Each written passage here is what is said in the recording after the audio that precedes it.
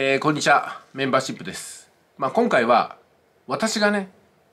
これから投じようとしている日本株についてお話していきます。情報源はアメリカからです。アメリカの資金が行き場を失ってしかも財政出動により高度なインフレ状態に入っているのがアメリカです。もうアメリカではコロナのこの字も出てこないぐらい生活は一変しました。そして余ったワクチンが日本を中心とした海外に押し売りされてる状況です。まあこれはある方の見方なんで何とも言えないところがありますけどもでも全ての情報は誰かの偏った意見です。それが政府から出されていようが民間から出されていようが都市伝説から流れていようが全部偏ったものの見方です。あとはその情報を受け取った方がどのようにそれを判断するかになってきます。今回もその一つかなり偏ったものの見方です。アメリカではもうコロナは忘れられています。ワクチンももう売れません。だから海外に売ってる。そしてスーパーのレジ打ち。こういう方も時給が1000円や2000円じゃないぐらいに高騰してます。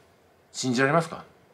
そして軽くランチを取ろうと思っても500円や1000円じゃもう食べれません。そのぐらいインフレは進んでます。景気がものすごく上向いてるんですよね。商品が高くても売れるしどんな方にも仕事が回ってきてるし。もう言ってみればウハウハ状態なのがアメリカのこれまた高度経済成長が来るんじゃないかなっていうね記載するんですよ。そういった偏った見方の中で私が採用しようとして思った思った情報の一つがうん、この今回の株式情報なんですよね。私は株はめったに買わないんですけどもそのめったに買わないチャンスが来たのかなと思ってます、まあ、私がねこれからどんな株を買おうとしてるのか興味がある方はメンバーシップに参加していただいてちょっと長いね動画になりますけども、うん、言ってることはこれを買いますよってことなんですよあとは私のまあよもやま話が入ってるかなってことでございますメンバーシップ情報もしね今回興味があるなと思った方は月額390円ですからまあよろしかったら入っていただければなと思います。